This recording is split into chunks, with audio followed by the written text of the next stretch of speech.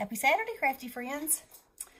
Okay, so this is this one's gonna be a little weird, but you know, I can't say anything. So Jelly Bean challenged me and a lot of other ladies to come up with something outside the box. Crafty, outside the box. So, I have always loved the way felting looks in felt flowers and felt any, you know, how you, they take a needle and they, I don't know. I haven't, I haven't tried it, the real thing. But anyway, last night, in the middle of the night, I woke up and I had this idea. Now, um, these are made with something that y'all might recognize this part of. So what I did was cut the end of it off. It's a very compact cotton, layers and layers and layers, mashed really tight together. So when you cut it apart, it automatically wants to kind of bloom like a flower. So I had some watercolor ink and I just, I started dabbling it around, you know, and then as I would dabble, I would fluff up the edges. And so I dabbled it up like I thought it was pretty.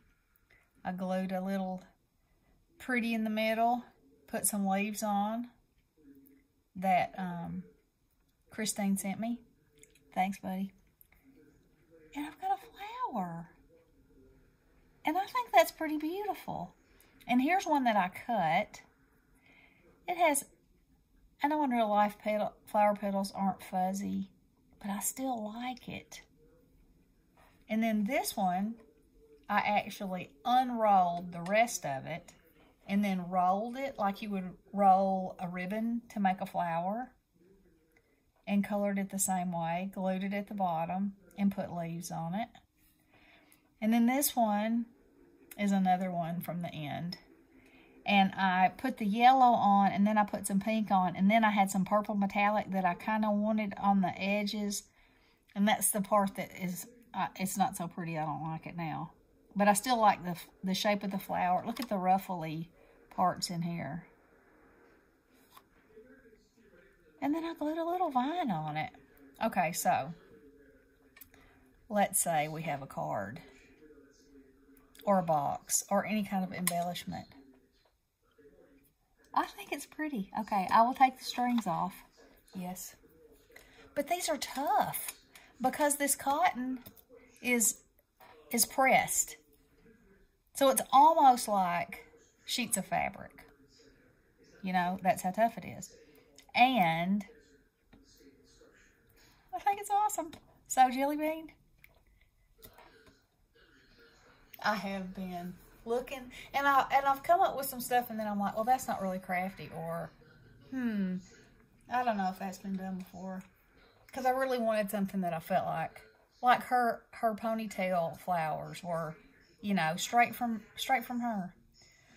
So, for what this one is worth, this is straight from me, and I think they're beautiful. I think that's a beautiful flower. Look at it. You got dimension, you got layers, you've got natural wrinkles and shrivels, and I think it's beautiful. Hmm. And you can make them any color you want, obviously. Leave them white, tint just the edges. You know, glue some leaves on, boom. You got it. This one, like I said, I cut. It's a little fuzzy. I put a little round styrofoam ball in there. So, there it is. There's thing one. Okay. I encourage y'all to try one out for yourself. It's pretty fun. I showed it to the hubs and he was like, really? yes, really. Okay, guys, I hope you're having a wonderful Saturday. Love you all. Blessings.